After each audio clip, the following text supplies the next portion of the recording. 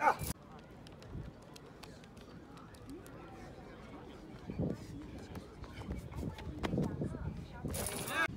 Junior varsity. Ah.